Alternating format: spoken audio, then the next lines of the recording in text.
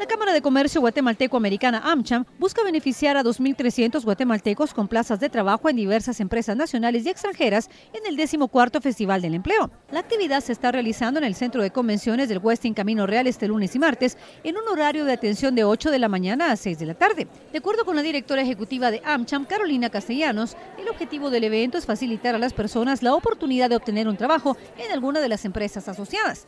Debido al éxito alcanzado en las tres ediciones anteriores, nuevamente estamos promoviendo esta actividad que beneficia a las personas, concluyó. En el festival participan 34 empresas nacionales e internacionales. En enero pasado realizaron otra feria a la que asistieron más de 8.000 personas. PubliNews, lo más importante de las noticias, un diario internacional de Metro y del grupo Emisoras Unidas, 50 años.